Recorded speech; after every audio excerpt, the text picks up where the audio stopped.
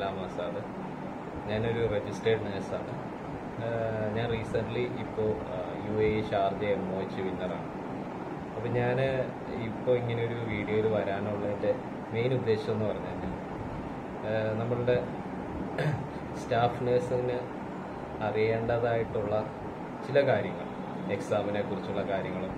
പിന്നെ ഞാൻ എഴുതിയ എക്സാമിന്റെ എക്സ്പീരിയൻസുകളും പിന്നെ അതുപോലെ നമ്മൾക്ക് മുന്നോട്ട് വേണ്ടുന്ന സി ബി ടി പിന്നെ അതുപോലെ ഓരോ രാജ്യത്തിന്റെയും ലൈസൻസ്ഡ് ആയിട്ടുള്ള എക്സാമുകൾ അപ്പോൾ അതിനെക്കുറിച്ചൊക്കെയുള്ള ഒരു ഡീറ്റെയിൽഡ് ആയിട്ടുള്ള ഒരു ഇതിന് വേണ്ടിയിട്ടാണ് അറിവ് തരാൻ വേണ്ടിയിട്ടാണ് ഞാൻ ഇങ്ങനെ ഒരു വീഡിയോ ഇപ്പോൾ ചെയ്യുന്നത്.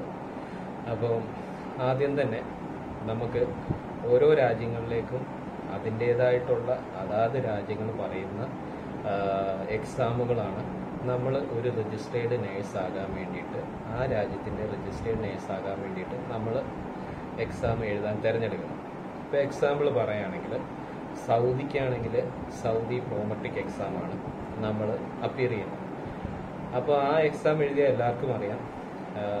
മിനിസ്ട്രിയിലും അതുപോലെ പ്രൈവറ്റ് സെക്ടറിലും എല്ലാ സ്ഥലങ്ങളിലേക്കും ആ എക്സാം എഴുതി പാസ്സായി കഴിഞ്ഞാൽ ഒരു രജിസ്റ്റേർഡ് നേഴ്സായിട്ട് ആ കൺട്രിയിൽ ജോലി ചെയ്യാമെന്നുള്ളത് നമുക്ക് എല്ലാവർക്കും അറിയുന്ന കാര്യങ്ങളാണ്.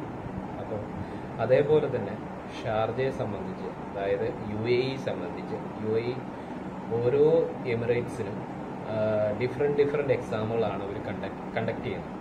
ഇപ്പോൾ for example U A ഇക്കാണെങ്കിൽ D H A Dubai health authority എന്ന് പറയുന്ന എക്സാമാണ് നമ്മൾ അപ്പിയർ ചെയ്യേണ്ടത്. അതേപോലെ തന്നെ ഷാർജയ്ക്ക് ഷാർജ എം ഒ ഈ ഷാർജ എം ഒ എച്ച് എന്റെ അണ്ടറിൽ വരുന്ന പ്രൊവിനൻസ് ഒരു ആറ് പ്രൊവിനൻസോളം ഉണ്ട്. അതിൽ എക്സാമ്പിൾ പറയുകയാണെങ്കിൽ ഷാർജ അൽക്കോബാർ പിന്നെ ഉമ്മൽ കുയൂൻ എന്ന് പറ എന്ന് തുടങ്ങി ഒരു ആറ് ടോട്ടൽ ആറ് എമിറേറ്റ്സുകളിൽ നമുക്ക് ഈ ഷാർജ എം ഒ കൊണ്ട് വർക്ക് ചെയ്യാൻ പറ്റും.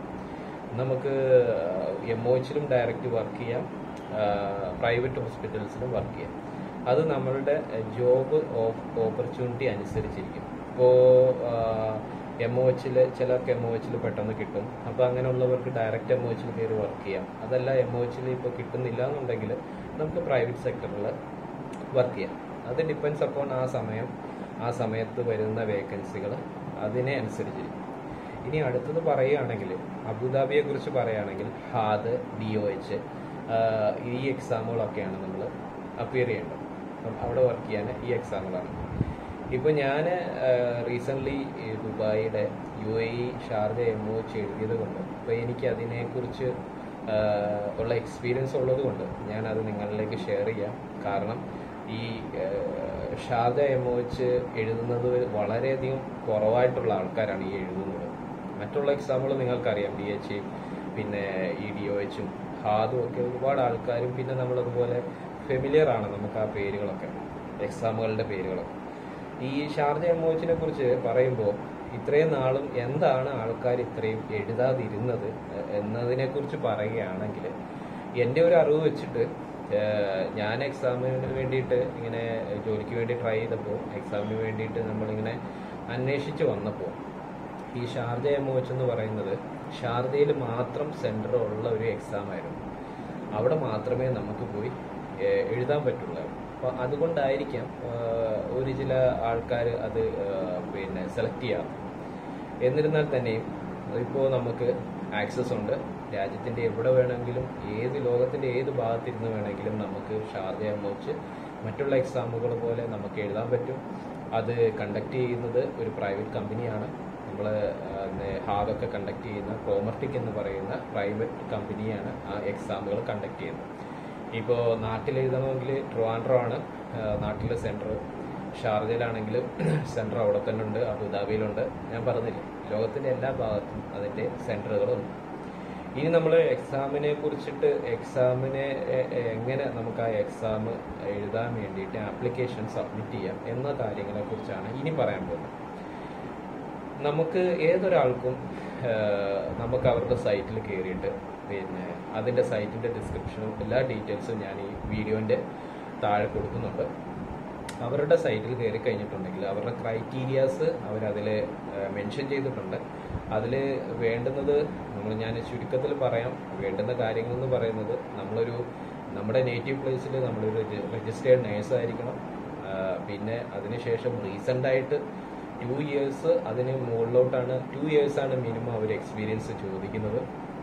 പിന്നെ ഈ പറയുന്നത് പോലെ റീസെന്റ് എക്സ്പീരിയൻസ് ടു ഇയേഴ്സിൽ കുറയാതെ വേണം. നമുക്ക് ഈ എക്സാം ആപ്ലിക്കേഷൻ സബ്മിറ്റ് ചെയ്യാൻ വേണ്ടുന്ന ആദ്യത്തെ ക്രൈറ്റീരിയ അതിനുശേഷം B L S B L S അറിയാമല്ലോ ബി എൽ എസ് നമുക്ക് വേണം. ബേസിക് ലൈഫ് സപ്പോർട്ടിന്റെ ലൈസൻസ് വേണം. വാലിഡ് ആയിട്ടുള്ളത്.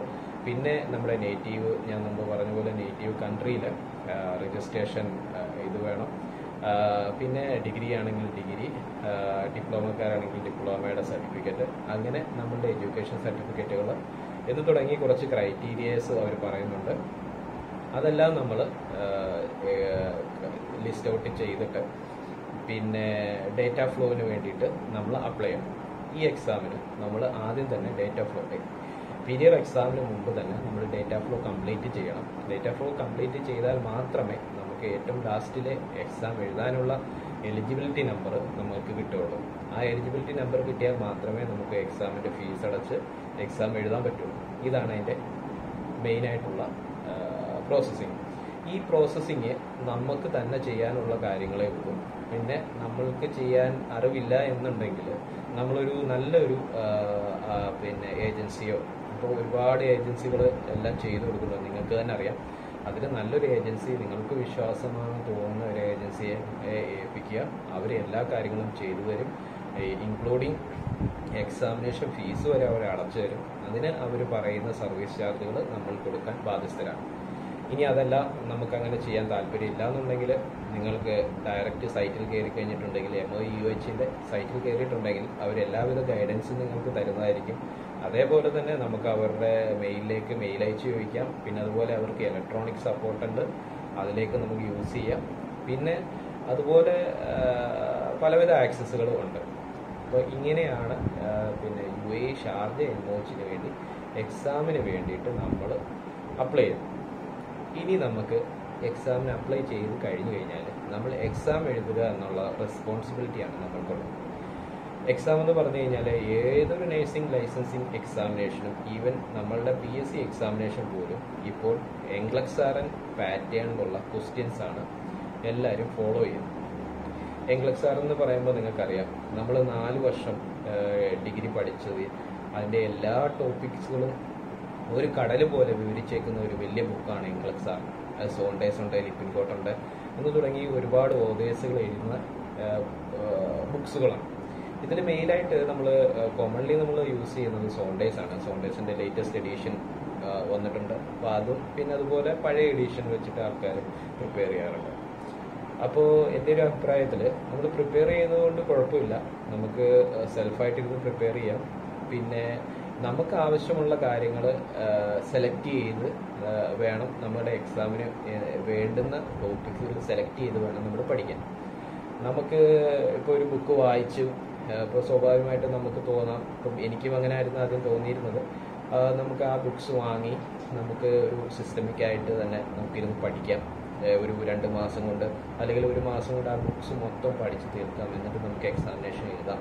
എന്നൊക്കെയുള്ളൊരു തോന്നലുകൾ നമുക്കുണ്ടാകും. അത് നല്ലതാണ്. നമുക്ക് അത്രയും അറിവുകൾ നമുക്ക് റിഫ്രഷ് ചെയ്യാൻ പറ്റും. പക്ഷേ എന്റെ ഒരു അഭിപ്രായത്തിൽ നമ്മൾ ഇതുപോലുള്ള ഒരു ലൈസൻസിങ് എക്സാമുകൾ എഴുതാൻ പോകുമ്പോൾ നമ്മൾ മെയിനായിട്ട് നല്ലൊരു ടീച്ചറിനെ കണ്ടെത്തുക എന്നുള്ളതാണ്. നല്ലൊരു ഇൻസ്റ്റിറ്റ്യൂട്ടിൽ ചേർന്നുകൊണ്ട് അവരുടെ കോഴ്സുകൾ അറ്റൻഡ് ചെയ്തിട്ട് നമ്മൾ എക്സാമിന് അപ്പയർ ചെയ്യുന്നതായിരിക്കും ഒന്നും കൂടെ ഉചിതമെന്ന് എനിക്ക് തോന്നുന്നു. കാരണം എന്ന് വെച്ച് കഴിഞ്ഞാൽ അവരുടെ എക്സാമുകൾ അവരുടെ അടുത്ത് നമ്മൾ ഇപ്പോൾ ഇപ്പോൾ എക്സാമ്പിൾ പറയുകയാണെങ്കിൽ ഒരുപാട് ഏജൻസികളും ഒരുപാട് ഇൻസ്റ്റിറ്റ്യൂഷനുകളും ഉണ്ട്. ഇതുപോലെ കോച്ചിങ് കൊടുക്കുന്നത്. അപ്പോൾ അവരുടെ കോഴ്സുകൾ നമ്മൾ അറ്റൻഡ് ചെയ്യുമ്പോൾ ഉള്ള ഗുണമെന്ന് വെച്ച് കഴിഞ്ഞാൽ അവരുടെ റീസെന്റ്ലി എഴുതിയ സ്റ്റുഡൻസിന്റെ ഫീഡ്ബാക്സും പിന്നെ ഈ എക്സാമുകൾക്ക് എന്തെല്ലാമാണ് ചോദിക്കുന്നത് ടോപ്പിക്സുകൾ എന്തൊക്കെയാണ് അതിന് ട്രിക്സുകൾ എന്തൊക്കെയാണ് എല്ലാ കാര്യങ്ങളും അവർ നമ്മൾക്ക് പറഞ്ഞു തരും. അപ്പോൾ നമുക്കത് പെട്ടെന്ന് ടാക്കിൾ ചെയ്യാം ക്വസ്റ്റ്യൻ കാണുമ്പോൾ പിന്നെ അതുപോലെ നമുക്ക് പെട്ടെന്ന് ക്വസ്റ്റ്യൻ വായിച്ചിട്ട് മനസ്സിലാക്കാനുള്ള എബിലിറ്റി കിട്ടും. അങ്ങനെ കുറേ ട്രിക്സുകൾ അവർ പറഞ്ഞു തരുമ്പോഴത്തേക്കിന് നമ്മൾ ഈ തിയറിയും പഠിച്ചു കഴിയുമ്പോൾ നമ്മളൊരു കോൺഫിഡന്റ് നമുക്ക് തന്നെ ഉണ്ടാകും എക്സാം എഴുതാനുള്ള ഇനി എക്സാമിനെ കുറിച്ച് പറയുകയാണെങ്കിൽ എക്സാം എപ്പോഴും ഇതൊരു വേറൊരു തരത്തിൽ പറഞ്ഞു കഴിഞ്ഞാൽ ബിസിനസ് മൈൻഡഡ് ആണ്. വേറൊരു തര തലത്തിൽ ഇതിന്റെ ഒരു ഇതെന്ന് പറയുന്നത്. അതായത് അവരെപ്പോഴും ഏത് എക്സാമിനേഷൻ നിങ്ങൾ നോക്കിക്കഴിഞ്ഞാലും എപ്പോഴും നമ്മളെല്ലാവരും പോയി എക്സാം എഴുതി കഴിയുമ്പോൾ എല്ലാവരും പറഞ്ഞ് ടഫാണ് ടഫാണ് ടഫാണ് കാരണം അത് വെറുതെ പറയുന്നതല്ല. അത് മാക്സിമം അവർ ടഫായിട്ടാണ് എക്സാമുകൾ കണ്ടക്ട് ചെയ്യുന്നത്. പിന്നെ ലിബറലാകും കുറേ നാൾ കഴിയുമ്പോഴത്തേക്കിനും അവർ ലിബറലാക്കും അതേ ഉള്ളൊരു വ്യത്യാസം. അപ്പം അവർ മാക്സിമം അവർക്ക് പൈസ കിട്ടുക എന്നുള്ളത് മാത്രമാണ് അവർ നോക്കുന്നത്. അപ്പം പ്ലസ് അവരൊരു സ്റ്റാൻഡേർഡ് കൂടെ അവർ ഉദ്ദേശിക്കുന്നു. ആ സ്റ്റാൻഡേർഡിലേക്ക് നമ്മളെത്തണം അപ്പം നമുക്ക് വേണ്ടുന്ന കാര്യങ്ങൾ എന്ന് പറഞ്ഞു കഴിഞ്ഞാൽ നമ്മൾ തിയറീസ് നല്ലതുപോലെ പഠിച്ച് മനസ്സിലാക്കണം ഒന്നും നമ്മൾ കാണാതെ ബൈഹാർട്ട് ചെയ്യരുത്. അല്ലാതെ നമ്മളെല്ലാം മനസ്സിലാക്കി പഠിക്കുക അങ്ങനെ പഠിച്ചു കഴിഞ്ഞു കഴിഞ്ഞാൽ നമ്മൾക്ക് ഒരു ക്വസ്റ്റ്യൻ നമ്മളോട് ചോദിച്ചു കഴിഞ്ഞാൽ അതിലെന്താണ് അവർക്ക് വേണ്ടത് എന്നുള്ളത് നമ്മൾക്കത് കറക്റ്റായിട്ട് അവിടെ എഴുതാൻ പറ്റും.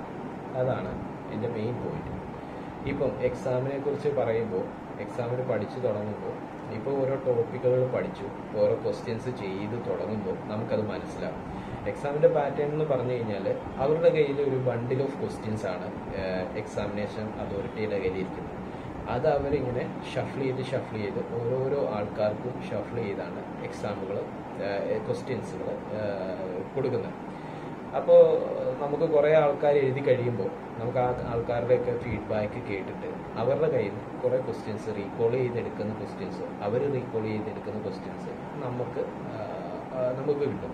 അങ്ങനെ കിട്ടുന്ന ക്വസ്റ്റ്യൻസ് നമുക്കൊരു പരിധി വരെ അതായത് മൊത്തമൊന്നും ഞാൻ പറയുന്നില്ല നമുക്കൊരു ഇപ്പോൾ ഫോർ എക്സാമ്പിൾ പറയുകയാണെങ്കിൽ ഒരു പത്തോ പതിനഞ്ചോ മാർക്കിനൊക്കെ നമുക്ക് അതിൽ നിന്ന് സ്കോർ ചെയ്യാൻ പറ്റും ഈ ഓൾഡ് ക്വസ്റ്റ്യൻസിന് അത് തന്നെ അടുത്ത പ്രാവശ്യം വേറൊരാൾക്ക് ചോദിക്കണമെന്നില്ല. പക്ഷേ എന്നിരുന്നാലും നമ്മളിപ്പോൾ കണ്ടുവരുന്നത് നമുക്കങ്ങനെ ചില കാൻഡിഡേറ്റ്സിനൊക്കെ അങ്ങനെ കിട്ടാറുണ്ട്.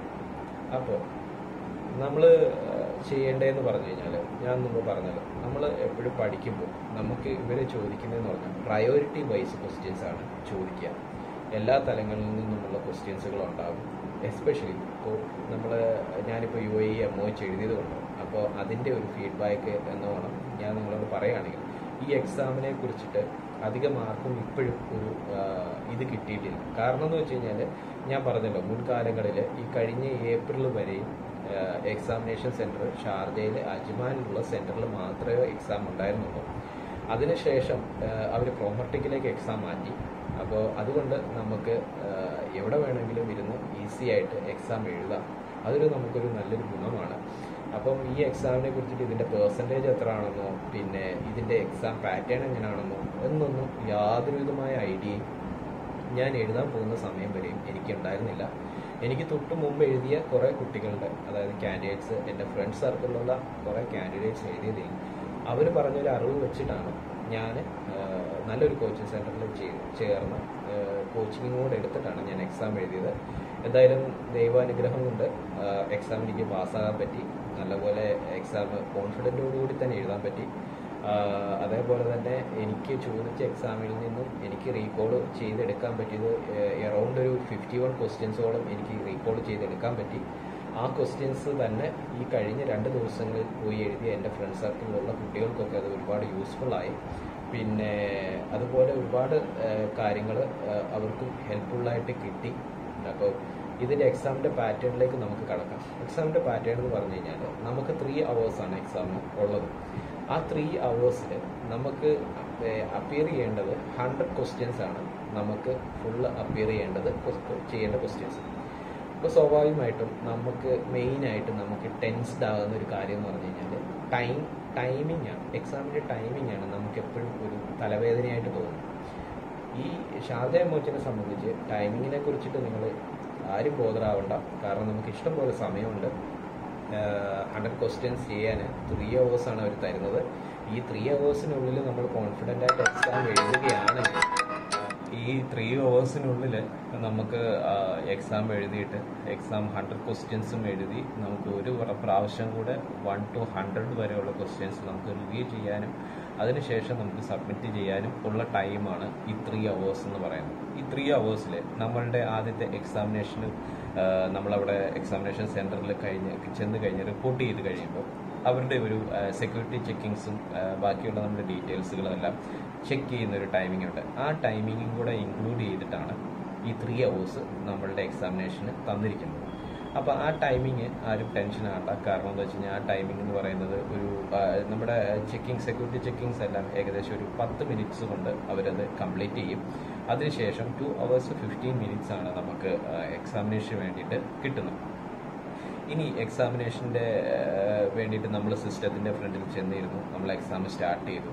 സ്റ്റാർട്ട് ചെയ്യുന്ന സമയത്ത് വൺ ടു ഹൺഡ്രഡ് ക്വസ്റ്റ്യൻസ് ആണ് അതിലുള്ളത്. ആ ഹൺഡ്രഡ് വൺ ടു ഹൺഡ്രഡ് ക്വസ്റ്റ്യൻസും നമുക്ക് വളരെയധികം കാമായിട്ട് ഇരുന്ന് ചെയ്യുകയാണെങ്കിൽ ഈ ടു അവേഴ്സ് ഫിഫ്റ്റി മിനിറ്റ്സിനുള്ളിൽ നമുക്ക് എക്സാം എഴുതി ഞാൻ നേരത്തെ പറഞ്ഞതുപോലെ എക്സാം എഴുതിയ ക്വസ്റ്റ്യൻസ് ഒക്കെ ഒന്നുകൂടെ റിവൈസ് ചെയ്തിട്ട് നമുക്ക് ഫൈനലായിട്ട് ഫിനിഷ് ചെയ്യാൻ സാധിക്കും.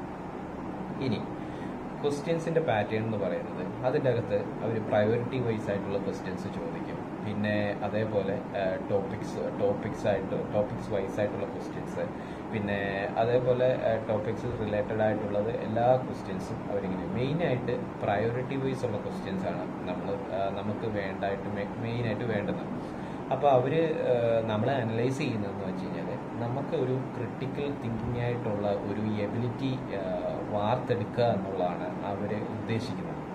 ഫോർ എക്സാമ്പിൾ പറയുകയാണെങ്കിൽ ഇപ്പോൾ ക്വസ്റ്റ്യൻസ് നമ്മളെടുത്ത് എക്സാമിനേഷന് ചോദിക്കുകയാണ്. ഇപ്പോൾ ന്യൂറോ ന്യൂറോളജിയിൽ നിന്ന് ഒരു ക്വസ്റ്റ്യൻസ് ചോദിക്കുകയാണ് ഇപ്പോൾ ഒരു പേഷ്യന്റ് പിന്നെ ലാസറേറ്റഡ് വൂണ്ടായിട്ട് വെളിയിൽ നിന്ന് ആർ ടി എ സംഭവിച്ച് R T A road traffic accident സംഭവിച്ചതിന് ശേഷം പിന്നെ ആൾക്കാർ അവിടെ നിന്ന് കൊണ്ടുവരികയാണ് അപ്പോൾ എമർജൻസി ഡിപ്പാർട്ട്മെന്റിൽ നിൽക്കുന്ന നേഴ്സ് എന്താണ് അതിനെ പ്രയോറിറ്റി വൈസ് ചെയ്യുന്ന കാര്യങ്ങൾ എന്നാണ് ക്വസ്റ്റ്യൻസ് ചോദിക്കുക. അപ്പം ചിലപ്പോൾ ചോദിക്കാം ഇങ്ങനെ പേഷ്യൻസ് വന്നു സിനാരിയോ തന്നിട്ട് ഇങ്ങനെ പേഷ്യന്റ് വന്നു നിങ്ങൾ പ്രയോറിറ്റി ആയിട്ട് ഈ കാര്യങ്ങൾ ചെയ്തു. അപ്പോൾ അതിനുശേഷം നിങ്ങളുടെ ആക്ഷൻ എന്താണ്?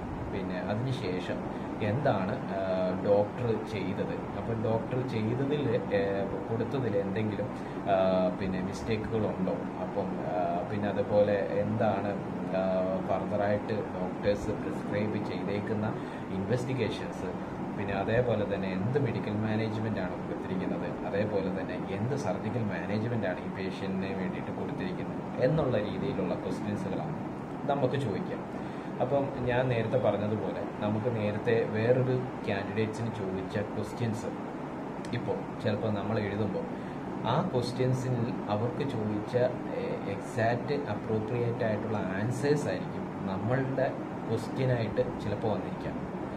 ചിലപ്പോൾ നമുക്ക് തരുന്ന ഓപ്ഷൻ അവർക്ക് കൊടുത്തേക്കുന്ന ഓപ്ഷൻ ഡയറക്റ്റ് നമുക്ക് ചോദിക്കാം. അപ്പോൾ അങ്ങനെ ഇങ്ങനെ അവരൊരു എന്താ പറയുക ഒരു സിക്സ് ആക്ട് മോഡലിലൊക്കെയാണ് അവർ ഈ ക്വസ്റ്റ്യൻസ് പ്രിപ്പയർ ചെയ്തിട്ട് ഇതേപോലെ എക്സാമിന് വേണ്ടിയിട്ട് ഷെഡ്യൂൾ ചെയ്ത് വെച്ചിരിക്കുന്നത്. അപ്പം നമുക്ക് വേണ്ടത് ഇപ്പോൾ നമ്മൾ എക്സാമിനിന്റെ രീതികളൊക്കെ ഏകദേശം നമുക്ക് മനസ്സിലായി. നമുക്ക് ഈ ക്വസ്റ്റ്യൻസ് ഒക്കെ കറക്റ്റായിട്ട് ഈസി ആയിട്ട് ഒരു ടെൻഷനും കൂടാതെ കോൺഫിഡൻസ് ആയിട്ട് നമുക്ക് അറ്റൻഡ് ചെയ്യണമെങ്കിൽ ഇനി പറയുന്ന കാര്യങ്ങൾ നമ്മൾ കറക്റ്റായിട്ട് ഫോളോ ചെയ്യണം.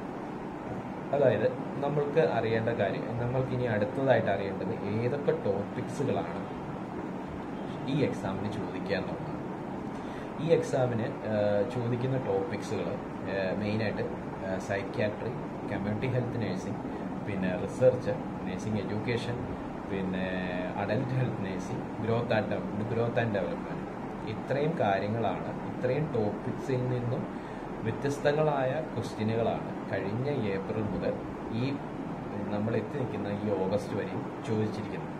ഞാൻ നേരത്തെ പറഞ്ഞതുപോലെ പ്രോമട്ടിക്ക് ഏപ്രിലാണ് സ്റ്റാർട്ട് ചെയ്തത്. അപ്പം അതുകൊണ്ട് ഇനിയും എക്സാമുകൾ ഫ്രണ്ടിലോട്ട് നടന്നാൽ മാത്രമേ ഇനിയും കൂടുതൽ എന്തൊക്കെ ടോപ്പിക്കുകളാണ് അവർ പരീക്ഷിക്കുന്നത് അല്ലെങ്കിൽ അവർ പരീക്ഷയ്ക്ക് നമുക്ക് തരുന്നത് എന്നതിനെക്കുറിച്ച് നമുക്കൊരു ഐഡിയ ഉണ്ടാവും. എന്നിരുന്നാലും നമുക്ക് ഇത്രയും നാളത്തെ ഒരു എക്സ്പീരിയൻസിൽ നമുക്ക് മനസ്സിലാക്കാൻ പറ്റുന്നത് ഇതേപോലുള്ള ടോപ്പിക്കുകൾ ഇപ്പോൾ ഫോർ എക്സാമ്പിൾ പറയുകയാണെങ്കിൽ എന്റെ എക്സാമിന് എനിക്ക് ചോദിച്ചത് മോർ ദാൻ സെവന്റിയിൽ സെവന്റി പെർസെന്റേജോളം സൈക്കാട്രിക് നേഴ്സിംഗ് ആണ് എന്റെ അടുത്ത് ചോദിച്ചത്. ബാക്കിയുള്ളത് ആണ് പിന്നെ ടോട്ടലി കുറച്ച് ഭാഗങ്ങളാണ് എന്റെ അടുത്ത് നേഴ്സിംഗ് എഡ്യൂക്കേഷനിൽ നിന്നും പിന്നെ അതുപോലെ കമ്മ്യൂണിറ്റി ഹെൽത്ത് നഴ്സിംഗിൽ നിന്നും അഡൽട്ട് ഹെൽത്ത് നഴ്സിംഗിൽ നിന്നും ഒക്കെ ചോദിച്ചിരുന്നത് അപ്പോൾ കഴിഞ്ഞ ദിവസങ്ങളിലൊക്കെ എഴുതിയ കുട്ടികൾ ആയിട്ട് ഞാൻ സംസാരിച്ചപ്പോൾ അവർ പറഞ്ഞതെന്ന് വെച്ച് കഴിഞ്ഞാൽ അവർക്ക് ചിലവർക്കൊക്കെ കമ്മ്യൂണിറ്റി ഹെൽത്ത് നഴ്സിംഗിൽ നിന്നാണ് കൂടുതൽ ചോദിച്ചേക്കുന്നത്.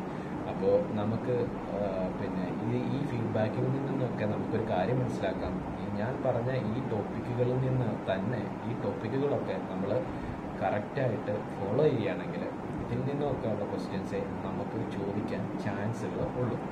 പിന്നെ പ്രീവിയസ് ഇയർ ക്വസ്റ്റ്യൻസ് അതായത് പ്രീവിയസ് ദിവസങ്ങളിൽ പല ദിവസങ്ങളിലായിട്ട് ചോദിച്ച ക്വസ്റ്റ്യൻസുകൾ നമ്മളുടെ എക്സാമിനും ഈ ഞാൻ പറഞ്ഞതുപോലെ ഓരോരുത്തരുടെ ലക്ക് അനുസരിച്ച് അവർക്ക് ചിലർക്ക് ഫിഫ്റ്റീൻ മാർക്സിന് ചോദിക്കും ചിലർക്ക് ഒരു ടെൻ മാർക്സിന് ചോദിക്കും.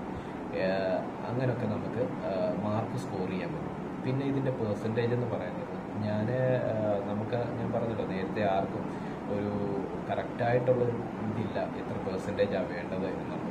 നമ്മൾ രജിസ്റ്റേർഡ് നേഴ്സ് എന്ന ഇത് കാറ്റഗറിയിൽ എക്സാം എഴുതുമ്പോൾ എനിക്ക് മനസ്സിലാകാൻ സാധിച്ചത് ഒരു more than seventy seventy and above ആണ് അവർ എക്സ്പെക്റ്റ് ചെയ്യുന്ന പാസിംഗ് ഗ്രേഡ് എന്നാണ് എനിക്ക് മനസ്സിലാക്കാൻ പറ്റിയേക്കുന്നത്. പിന്നെ ഇത്രയും നാളും കുട്ടികൾ എഴുതിയതിൽ നിന്നും നമ്മളുടെ അവരുടെ ഫീഡ്ബാക്ക് കളക്ട് ചെയ്തപ്പോൾ നമുക്ക് മനസ്സിലാക്കാൻ പറ്റിയേക്കുന്നത് അതാണ്. എനിവേ അതൊരു വേറൊരു ഫാക്ടറാണ് പക്ഷേ നമ്മൾക്ക് മെയിനായിട്ട് വേണ്ടതെന്ന് പറഞ്ഞു കഴിഞ്ഞാൽ നമ്മൾ എക്സാമിന് വേണ്ടിയിട്ട് ഫുള്ളായിട്ട് പ്രിപ്പയർ ചെയ്ത് കഴിഞ്ഞു കഴിഞ്ഞാൽ നമുക്ക് ഓരോ ക്വസ്റ്റ്യൻസും ഓരോ ക്വസ്റ്റ്യൻസും നമുക്ക് വിലപ്പെട്ടതാണ്. നിങ്ങൾക്കറിയാവുന്ന പോലെ തന്നെ നമുക്ക് മൈനസ് മാർക്കിംഗ് ഒന്നുമില്ല. എന്നിരുന്നാൽ തന്നെയും നമ്മൾ ശ്രദ്ധിച്ചു വേണം ഓരോ ക്വസ്റ്റ്യൻസും ചെയ്യാൻ. അങ്ങനെ ചെയ്താൽ മാത്രമേ നമുക്കൊരു സക്സസ് ആയിട്ട് എക്സാം കംപ്ലീറ്റ് ചെയ്യാൻ പറ്റുള്ളൂ. അപ്പോൾ പിന്നെ പിന്നെ നമ്മൾ ചെയ്യേണ്ടുന്ന കാര്യങ്ങൾ എന്ന് പറഞ്ഞു കഴിഞ്ഞാൽ നമ്മൾ ഈ പറയുന്ന ടോപ്പിക്കുകൾ നല്ല രീതിയിൽ തന്നെ നല്ലൊരു കോച്ചിങ് സെന്ററിൽ എന്റെ ഒരു സാറിന്റെ അണ്ടറിൽ നമ്മൾ ട്രെയിനിങ് ചെയ്യുക.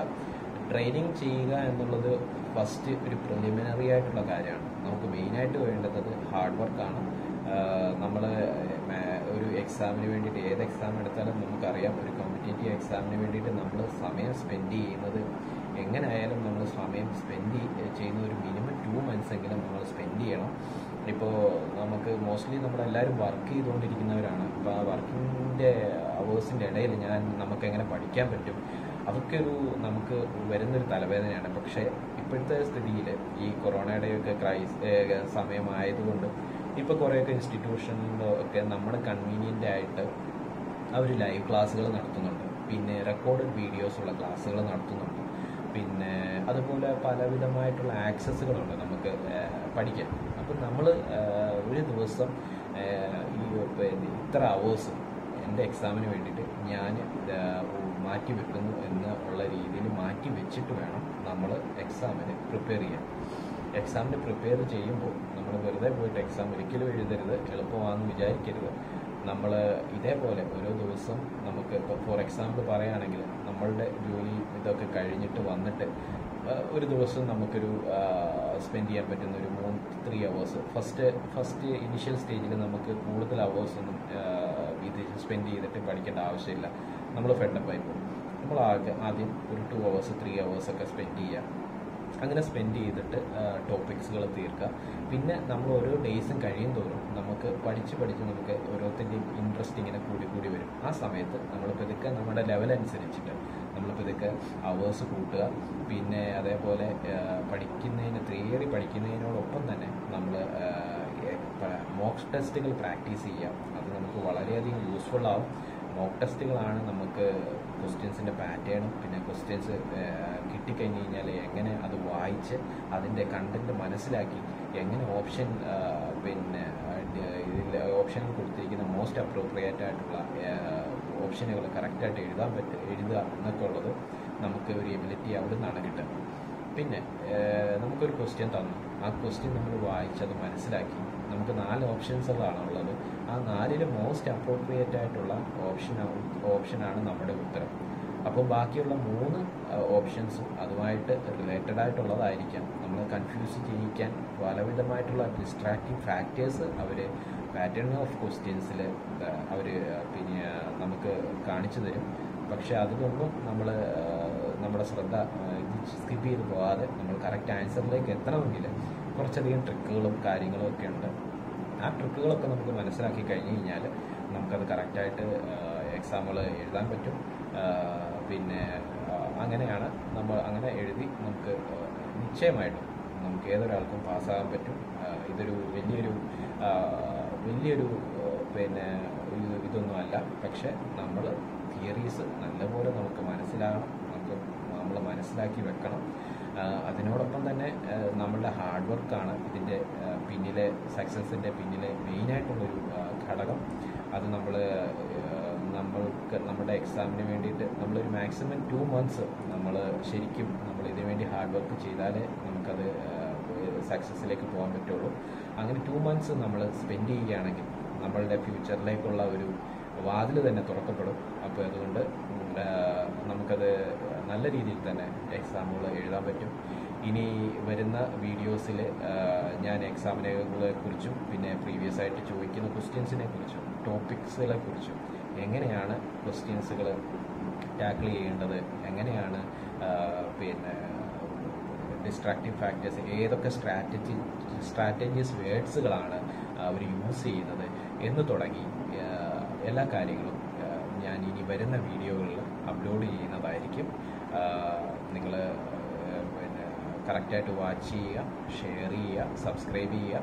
അങ്ങനെ ചെയ്ത് കഴിഞ്ഞിട്ടുണ്ടെങ്കിൽ ഞങ്ങൾ അപ്ലോഡ് ചെയ്യുന്നതായിട്ടുള്ള അപ്ഡേറ്റ് ചെയ്യുന്നതായിട്ടുള്ള വ്യത്യസ്തങ്ങളായ വീഡിയോസുകളും വാല്യുബിളായിട്ടുള്ള ഇൻഫർമേഷനുകളും നിങ്ങളിലേക്ക് എത്തിക്കും. എത്തിക്കാൻ പറ്റും. നമുക്ക് നമ്മളുടെ എപ്പോഴും നമ്മളൊരു വേറെ ആൾക്ക് വേണ്ടിയിട്ട് ഹെൽപ്പ് ചെയ്യത്തക്ക രീതിയിലുള്ള വീഡിയോസുകളാണ് ഇടുന്നത്. നമ്മളിതൊരു ഫിനാൻഷ്യൽ ഇതായിട്ട് നമ്മൾ കൂട്ടുന്നില്ല. കാരണം നമ്മൾക്ക് കിട്ടുന്ന അറിവുകൾ മറ്റുള്ള ആൾക്കാർക്ക് ഷെയർ ചെയ്യുക എന്നുള്ളതാണ് നമ്മളുടെ മെയിനായിട്ടുള്ള എയിം അതുകൊണ്ട് അത് തന്നെയാണ്. ഞാൻ ഇത്രയും നാളും ഞാനൊരു യൂട്യൂബ് ബ്ലോഗറോ അല്ലെങ്കിൽ ഞാനൊരു യൂട്യൂബിൽ കറക്റ്റായിട്ട് എപ്പോഴും ആക്റ്റീവായിട്ടിരിക്കുന്ന ഒരാളോ ഒന്നുമല്ല. ഞാൻ എന്റെ എക്സ്പീരിയൻസ് എനിക്ക് എക്സാമിന് വേണ്ടിയിട്ട് ഞാൻ ട്രൈ ചെയ്തപ്പോൾ ഈ യു എ വേണ്ടി ട്രൈ ചെയ്തപ്പോൾ പഠിക്കുന്ന കാര്യങ്ങളാണെങ്കിലും എന്ത് കാര്യങ്ങളാണെങ്കിലും നമ്മൾ ഒരാളുമായിട്ട് കോണ്ടാക്ട് ചെയ്യുമ്പോൾ ആ ആൾക്ക് പോലും കറക്റ്റായിട്ട് നമുക്ക് ഗൈഡൻസ് തരാനുള്ള ഒരു ഇത് അവർക്ക് ഇൻഫർമേഷൻ അവർക്കില്ലായിരുന്നു. കാരണം എന്ന് വെച്ച് കഴിഞ്ഞാൽ പിന്നെ ഇതിനെക്കുറിച്ചിട്ട് കൂടുതൽ ആർക്കും അറിയില്ലായിരുന്നു. അപ്പോൾ അങ്ങനെ ഇരിക്കുന്ന സമയത്താണ് ഞാൻ വളരെ കഷ്ടപ്പെട്ട് നമ്മൾ തന്നെ സെൽഫായിട്ട് തന്നെ ഓരോ ആൾക്കാരെയും അപ്രോച്ച് ചെയ്ത് അങ്ങനെ ഒരു നല്ലൊരു കോച്ചിങ് സെന്റർ ഇൻസ്റ്റിറ്റ്യൂട്ടിനെ കണ്ടെത്തി ഒരു നല്ലൊരു ടീച്ചറിന്റെ അണ്ടറിൽ പഠിച്ചു. പിന്നെ പോയി എക്സാം എഴുതി പാസ്സായി. അപ്പോൾ അതിനുശേഷം നമുക്ക് ഏകദേശം ഇതിനെക്കുറിച്ചുള്ള എല്ലാ കാര്യങ്ങളും നമുക്ക് മനസ്സിലാക്കാൻ പറ്റി. ആ ഒരു കാര്യങ്ങൾ നിങ്ങളുമായിട്ട് ഷെയർ ചെയ്യുക എന്നുള്ളതാണ് എന്റെ മെയിനായിട്ടുള്ള ഉദ്ദേശം. നിങ്ങൾക്ക് ഏത് സമയത്ത് വേണമെങ്കിലും ഞങ്ങളെ കോൺടാക്റ്റ് ചെയ്യാം. ഞങ്ങൾ ഇതിന്റെ ഡിസ്ക്രിപ്ഷൻ ബോക്സിൽ ഞങ്ങളുടെ കോണ്ടാക്ട്സ് നമ്പേഴ്സും പിന്നെ അതുപോലെ തന്നെ WhatsApp numbers email IDs എന്ന് വേണ്ട നിങ്ങൾക്ക് വേണ്ടുന്ന എല്ലാവിധമായ വാല്യുബിൾ ആയിട്ടുള്ള എല്ലാ ഇൻഫർമേഷനുകളും ഞങ്ങൾ താഴെ ഡിസ്ക്രിപ്ഷൻ ബോക്സിൽ കൊടുക്കുന്നതാണ്. ഇനി എല്ലാവർക്കും ശുഭദിനം നേരുന്നു.